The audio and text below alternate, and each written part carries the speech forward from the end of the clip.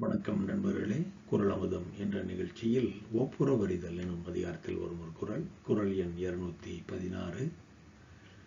பயன் மரம் உள்ளூர் பழுத்தற்றால் செல்வம் நயனுடையான் கண்பணி மற்றவர்களுக்கு கொடுத்து உதவும் நல்ல குணமுடையவர்களின் செல்வம் ஊரின் நடுவே உள்ள பயன் தரும் மரம் செழித்து வளர்ந்து எல்லோருக்கும் பயன்படுவது போல அனைவருக்கும் பயன்படும்.